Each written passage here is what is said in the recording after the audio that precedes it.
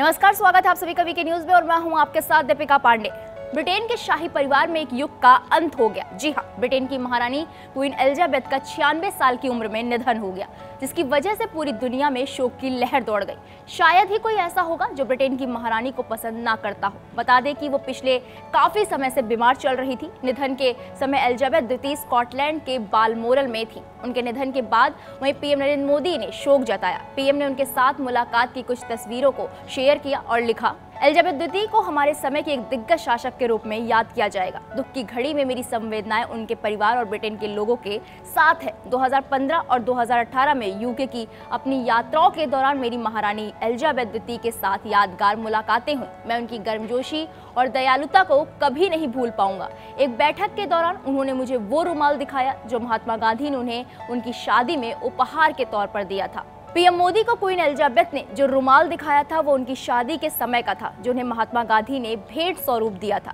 ये बात बस रुमाल तक ही सीमित नहीं, ये बात साफ़ तौर पर दर्शाती है कि क्वीन एलिजाबेथ के दिल में भारत को लेकर सम्मान हमेशा बरकरार रहा है। और महात्मा गांधी का वो रुमाल पीएम मोदी को दिखाया जाना एक तरह का लीगेसी पास ऑन था। यानी क्वीन जो विरासत और सम्मान महात्मा गांधी क्वीन की नज़रों में छोड़कर गए थे, वो दशकों बाद भी बरकरार था। रुमाल दिखाते ही क्वीन ने यह ज़ाहिर किया कि आज भी भारत को लेकर सम्मान जरा भी कम नहीं हुआ है। इतना ही नहीं, इससे ये भी ज़ाहिर होता है कि पीएम मोदी का कद उनकी नज़रों में काफ़ी बड़ा है, क्योंकि अमूमन क्वीन एलिजाबेथ दूसरे देशों के प्रधानमंत्रियों से नहीं मिला करती थी। और अगर मिलती भी थी तो उनसे, उनके देश की विरासत साझा नहीं करती थी।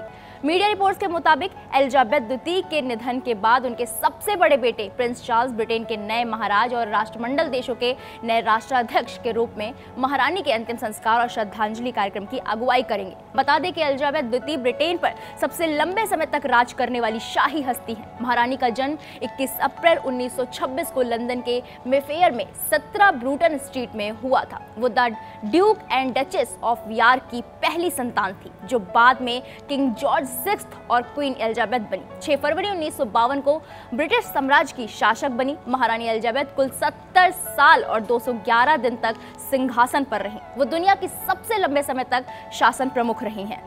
इस खबर पर आपकी क्या राय है? हमें कमेंट बॉक्स में ज़रूर बताइएगा। देश दुनिया की तमाम बड़ी खबरों के लिए आप देखते रहिए वीके न्यूज़। वीके न्यूज़, राष्ट्र के नाम।